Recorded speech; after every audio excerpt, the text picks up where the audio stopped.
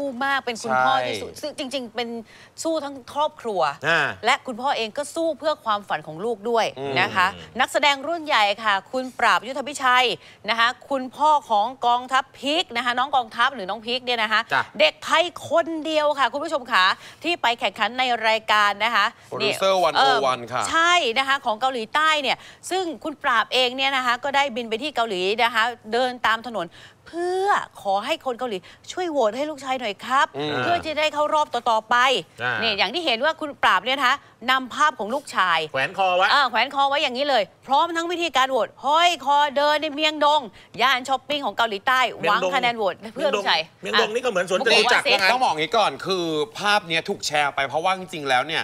เอ่อพี่ปราบเนี่ยห้อยรูปน้องพีกเอาไว้เออนะฮะแล้วก็เดินที่เมียงดง ซึ่งจริงๆระบบโทรศัพท์ที่สามารถที่จะโหวตได้ก็ต้องเป็นระบบของทางเกาหลีเท่านั้น ใช่ ดังนั้นเนี่ยพี่ปราบเองก็ไม่สามารถก็ไม่รู้วิธีโหวตหรอกโหวตยังไง เออทำไงแต่ในเมียงดงเนี่ยมีคนไทยที่อยู่ที่เกาหลีทำงานที่เกาหลีใช้ชีวิตที่เกาหลีเขาก็มีซิมการ์ดค่ะมีเบอร์ ค่ะก็สามารถที่จะโหวตได้ เออคือวันที่เห็นเนี่ยคือเดินอยู่ในรอบเมียงดงเลย เออเออเออ แล้วก็เจอทั้งคนเกาหลีคนเออไทยก็ให้ช่วยโหเมียงวดงต แล้วถ้าเพื่อช่วยโหวตพูดเกาหลีพูดไงฮะ คือก็บอกว่าช่วยหน่อยไม่อะไรได้อย่างภาเงี้ยษาเกาหลีได้ไหมเนเซล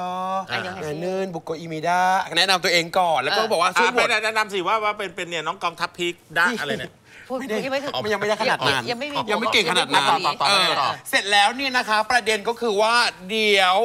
อีกก็จะวันนี้แหละ ค่ะ จะไปอยู่ที่ฮงแด ย่านวัยรุ่นนักศึกษาคงแดนนี่เทียบเหมือนย่านหยามมเลยหาไหมวิทยาลัย เหมือนแถวเหมือนแถวเหมืสอนจุฬายาม แถวจุแถฬาวจุฬาอ๋อธรรมาแถวจุฬาเนี่ยนะก็จะมีฮงแด จะมีย่านฮงแดก็จะมีน้องๆนักศึกษาเนี่ยนะหลายมหาวิทยาลัยอยู่ตรงนั้น ก็จะไปเดินขอคะแนนโหวตกัน ซึ่งก่อนหน้านี้ขอแอคทีฟนิดนึงเออเออเออยังไงคุณปราบเนี่ยไม่ได้เป็นคนแรกนะฮะอะยังไงเล่าสิ เนื่องด้วยมีพ่อนักแสดงเอ่อที่เข้าร่วมนี่นะฮะอย่างที่บอก นะฮะโปรดิวเซอร์วันโอวันท่านหนึ่งเนี่ยนะฮะเออลูกเนี่ยก็ไม่มีแอร์ไทม์เหมือนกัน ใครอะ หมายความว่า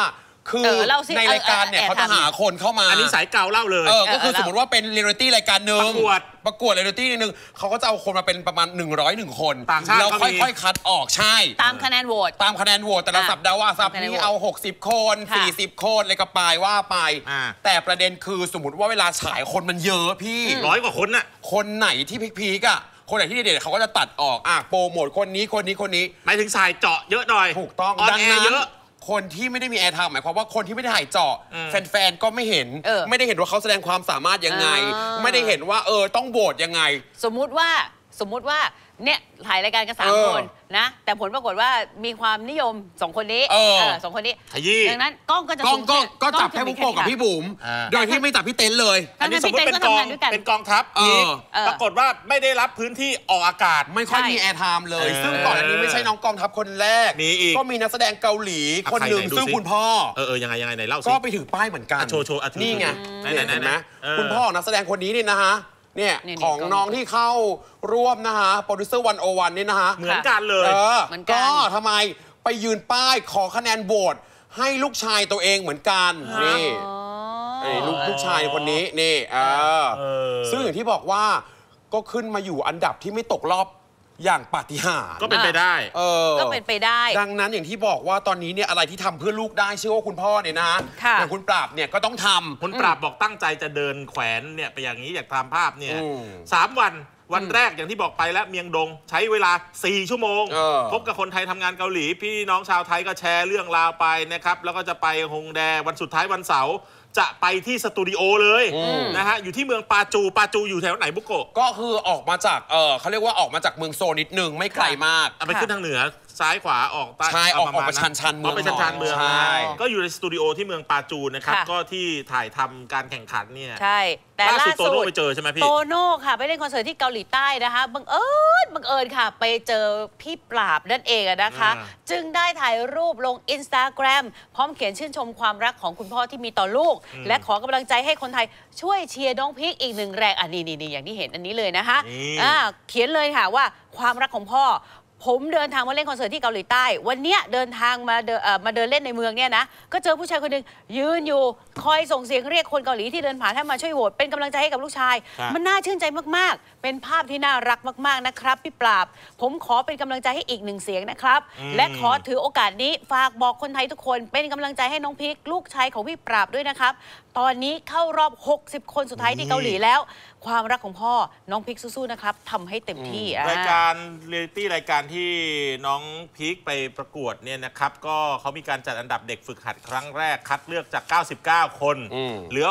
60 ซึ่งน้องกองทัพพีคเนี่ยเข้ารอบไปเนี่ยเกือบวิดวุดวิดเหมือนกันนะ ใช่ เข้าไปในอันดับที่ 58 ซึ่งเขาเอา 60 โอ้ยวันนั้นมุมแอบดูอยู่อ่า ปีมีคลิปมา น้องน้ำตาไหลออกมาเลยนะด้วยความลุ้นอะอืมคือจะออกปริ่มอยู่แล้วอะคือ นะ 58 เนี่ย สัปดาห์ที่ผ่านมาพีคได้รับการโหวตมาอยู่ที่อันดับ51ค่ะแต่คะแนนเนี่ยยังไม่เพียงพอ เพราะรอบถัดไปเนี่ยเขาจะคัดเหลือ 30 คนว้ายอุ้ยห่าง51 ก็ห่างไปอีกเฮ้ย20 กว่าใช่ไหมใช่ โอ้โห นะฮะ เพราะว่าเหลือ 50 ตอนนี้คะแนนอยู่ 51 ต้องอาศัยคะแนนโหวตจากแฟนๆ เพราะว่ารายการเนี้ยโหวตให้คะแนนเฉพาะคนที่เกาหลีใต้เท่านั้น จะมาบอกว่าสิบเมืองไทยส่งไปโหวตไม่ได้นะไม่หนูได้ไม่ได้ไม่ได้ไม่ได้พอไปเจอเนี่ยเราก็มีโอกาสไปเจอนิชคคุนณไทยที่ไปโด่งดังที่เกาหลีคือน้องนิชคุณเนี่ยก็ไปถามถ่ายเรื่องราวนี้นะฮะนิชคุณเนี่ยไปโด่งดังที่นู่นสมาชิกวง 2PM ค่าย JYP Entertainment เนี่ยค่ะเป็นคนไทยคนแรกๆที่ไปบุกเบิกเส้นทางคนไทยที่ไปเป็นไอดอลเกาหลีเนี่ยนิชคุณบอกว่าช่วงเนี้ยผมเดินทางบ่อยพี่ไม่ได้อยู่ที่เกาหลีก็ไม่ค่อยทราบข่าว แต่พอทราบแล้วก็ส่งกำลังใจให้เด็กไทยที่ตามหาฝัน อ่าพร้อมกับบอกว่าการแข่งขัน ในวงการไอดอลอย่างนี้เนี่ยนะคะมันเครียดมาก เออ คือไม่ใช่แค่หลักร้อยหลักพันนะ แต่เป็นหลักหมื่นที่มาแข่งกันเพื่อที่จะเป็นผู้ชนะ คนเดียว คนเดียวจริง ๆ นะคะ แล้วก็ไม่มีอะไรประกันได้เลยว่าเราจะเป็นผู้ชนะ หรือประสบความสำเร็จมันอยู่ที่ความพยายามของเรามากกว่านะ อืม คือเด็กไทยที่ไปเนี่ยต้องบอกก่อนว่าไปถึงปุ๊บเริ่มจากศูนย์เลยทันที ค่ะ ก่อนอื่นจะต้องพี่รู้มาว่าเวลาไปเนี่ยเขามีวิธีเวลาตื่น ตื่นก็ต้องตื่นแต่เอ๊ะเช้าอะสมมติว่าตื่น9โมง9โมงกินข้าวอาบน้ำเสร็จใช่ไหม10โมง11โมงตอนจะปลุกเขาพูดว่าไงเกาหลีเขาก็ตื่นเวกอัพเวกอัพอย่างเอางี้ไม่พูดเกาหลีเหรอเขามีพูดได้ตื่นเพื่อนค่ะคิดได้หนูจะตื่นไหมคะเอาเขาถ้าหนูไม่ตื่นพี่ตื่นนะคะอ๋อไม่ตื่นอ๋อตื่นตื่นเดี๋ยวนี้ค่ะเขาปลุกกันน่ารักเลยไงโอป้าตื่นนะคะ อันนี้พี่ปลุกช่วงไหนฮะเนี่ยช่วตื่งนเช้าไม่ใช่ไอ้เดี๋ยวเดี๋ยวเดี๋ยวไปไปไปไอ้กระซิบตรงไหนเออไอ้ไอ้ไอ้ไอ้ไอ้ที่เสียงอย่างนี้เนี่ยไม่น่าจะปลุกน้องๆแล้วแหละค่ะมันเหมือนปลุกอย่างอื่นนะฮะอ่าตื่นนะคะเช้าแล้วนะคะอ่าเออ เวกอัพค่ะให้มากินถ้าเบรกฟัสค่ะ ถ้ากินอย่างนี้ไม่ไม่ไม่ได้กินแล้วล่ะพี่นะว่า คะอะแล้วทุกอย่างเนี่ยมันต้องเริ่มต้นจากศูนย์หมด เพราะฉะนั้นเนี่ยน้อง ๆ ที่เป็นเด็กไทยต้องอดทน เพราะมีหลายคนก็กลับมา ไม่ไหวใช่ ไม่ไหวไม่นะไหวเพราะไหนจะคือไม่ได้อยู่กับครอบครัวนี่จะถูคุกณไหม บอกเนี่ยนะฮะนี่คุณบอกตอนผมไปเนี่ยเริ่มจากศูนย์นะ อืมแต่มาอยู่จุดนี้ได้องค์ประกอบเยอะ ค่ะ มีครอบครัวสนับสนุน แฟนคลับน่ารัก สมาชิกวงนี่ก็เป็นแรงผลักดันพัฒนาตัวเองให้เก่งเท่ากัน มันก็แล้วแต่สิ่งแวดล้อมรอบตัวด้วยความพยายามของผมด้วยนิชคุณบอก เป็นสิ่งสำคัญที่สุดที่จะทำให้ทุก ๆ อย่างประสบความสำเร็จ ไม่ว่าจะทำอะไรก็แล้วแต่ค่ะ นิชคุณบอกเบื้องหลังแบบนี้อืมโอ้โหพี่คนไทยที่ไปประกวดเนี่ยมันยากกว่าคนเกาหลีคนบ้านเขาสิ ถูกใช่สิ ภาษาด้วยนะหนึ่งอะเออ สองก็คือที่บอกว่าต้องฝึกแต่ตั้งแต่เช้า เต้นด้วยร้องด้วยออกกำลังกายด้วย ภาษาเป็นภาษาส่วนสำคัญ ใช่แต่เขาบอกว่าอย่างนี้นะ แต่ถ้าความสามารถถึงความพยายามถึงเนี่ย ถ้าคนเกาหลีเนี่ย เห็นศักยภาพของคนต่างชาติ มันก็กั้นกันไม่ได้เขาก็เอาเลยใช่อืมนะครับอย่างคนต่างชาติมาแสดงคอนเสิร์ตที่เมืองไทย มันก็เป็นอีกช่องทางหนึ่งที่เขาจะเผยแพร่วัฒนธรรมและดนตรีให้ไปไกลทั่วโลก เดี๋ยววันนี้เราไปฟังมุมมองของนิชคุณนะค่ะก็หนุ่มไทยคนแรกๆเลยนะครับที่ไปเติบโตแล้วก็โด่งดังที่เกาหลีใต้นะครับ เชิญค่ะ มันเครียดมากเลยนะครับ มันมันไม่ใช่แบบว่าเป็นหลักร้อยมันเป็นหลักพันหลักหมื่นคนเลยที่อยากจะมาโทษนะครับที่อยากจะมาเป็นดาอยากจะมาเป็นไอดอลอยากจะแต่ว่า ถึงจะได้ที่หนึ่งถึงจะชนะอะไรยังไงมันไม่ได้มันไม่ได้ประกันว่าเราจะประสบความสำเร็จเรามันคือความพยายามของเรามากกว่า อย่างผมเนี่ยผมเริ่มศูนย์ แต่แบบว่าได้มาถึงมาอยู่จุดนี้เพราะว่าผมมีมีครอบครัวที่ support ผม มีแฟนคลับที่น่ารัก แล้วก็ member ในในวงของผมเนี่ยเป็นแรงผลักดันด้วยเพราะให้ผมพัฒนาตัวเองให้เก่งเท่าเขา ผมขอก็ขอหวังว่าทุกคนที่หวังอยากจะแบบมาเป็นไอดอลเนี่ยขอให้ตัวเอง ต้องรู้จักตัวเองต้องต้องเป็น ไม่โกหกตัวเอง ไม่โกหกสื่อไม่โกหกทุกๆ คนนะครับแล้วก็เป็นคนดีแล้วก็ความพยายามเนี่ยเป็นสิ่งที่สำคัญที่สุดในการที่จะประสบความสำเร็จไม่ว่าจะทำอะไรก็แล้วแต่อืมมีอยู่ปีหนึ่งช่วงพีคของ 2PM เนี่ยเคยไป JYP ผ่านไปเป็นตึกแถวประมาณ 2-3สามคูหาเองนะ อ่าฮะ ห้องซ้อมเนี่ยอยู่ชั้นใต้ดิน อืม เคยเข้าไปดูนิชคุณเขาซ้อมเนี่ย แล้วก็มีโอกาสพูดคุยกันนิชคุณบอกว่า เคยโทรศัพท์คือไม่ใช่จะโทรศัพท์กลับบ้านเกิดได้ เองเขานะยึดโทรศัพท์ต้องค่ะอนุญาตให้โทร อืม ทันทีที่มีโอกาสถึงจุดจุดหนึ่งที่รับโทรศัพท์มาใชเนี่ย่ โทรมาร้องไห้กับแม่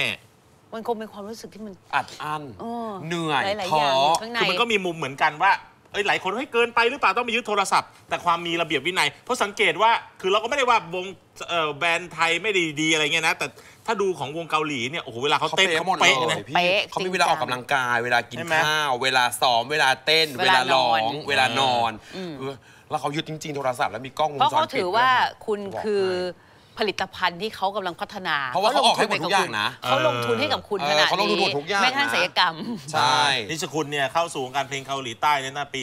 2548 นะครับ ตอนนั้น JYP นะครับก็ติดต่อมาไป audition เนี่ยบริษัทชวนไปอยู่ที่เกาหลีเลย ค่ะจัดการทุกอย่างเป็นคนไทยคนแรกคนเดียวผ่านการ audition เลยนะครับ แล้วก็ทำ audition ผ่านจากผู้เข้า audition ทั้งหมด 11 ประเทศนะตอนนั้นนะครับ ปี 49 เป็นนักแสดงหน้าใหม่ของ JYP เซ็นสัญญา 8 ปี เปิดตัวงานแรกเป็นพิธีกรรายการ Superstar Survival จัดขึ้นที่ประเทศไทย แล้วก็ค่ะเดบิวต์เป็นไอดอลเกาหลี วง 2PM ฝึกที่หอพักหอที่พักฝึกของ JYP JYP เนี่ยมีการเรียนเต้นนะครับ เรียนภาษาเกาหลี เรียนตั้งแต่ 11 โมงถึง 3 ทุ่ม ทุกเดือนต้องมีการทดสอบความสามารถ มี Artist Training เป็นผู้รายงานแหม่ยังกับฝึกทหาร ถูกพัฒนาการของเด็กๆฝึกหัดเออนะฮะเรียกว่าอย่างที่บอกว่ายังอยู่เรื่องของมนุษยสัมพันธ์ที่อยู่ในหอด้วยมีการฝึก แล้วก็มีการมีกฎห้ามต่างๆห้ามนะกินเหล้าห้าห้ามมมีมีแฟแฟนนใครเออฝ่าฝืนโดนไล่ออกค่ะนะมีคนอยู่ร่วมกับโครงการเดียวกับนิชคุณทั้งหมด 5 คน แต่อย่าลืมนะคะว่าของนิชคุณเนี่ยคือโดนเลือกและเพื่อไปเทรนแล้วใช่อะแต่ต่างกับอันนี้แข่งเออต่างต่างกับน้องกองทัพนะแข่ง เอออันนี้คือแข่งเพื่อที่จะไปอยู่ตรงนั้น ไม่แต่หลาย ๆ คนนะ เขาต้องมาดูที่เมืองไทยก่อนบางทีบางโครงการที่ประกวดที่มาเมืส่อองงไทยอะอืมเขาจะมีโคกับทางเกาหลีเข้ากับค่าย ใช่ พอเสร็จแล้วปุ๊บอ่าอย่างน้องลิซ่า น้องแบมแบมเนี่ยอ่า อะก็มาจากโครงการการประกวดแล้วพอเกาหลีเห็นปุ๊บ ก็ไปฝึกก่อนไปเดบิวต์ก่อนต้องเขาเรียกคนว่าเดนี้บิวต์คนนี้ได้นะคะ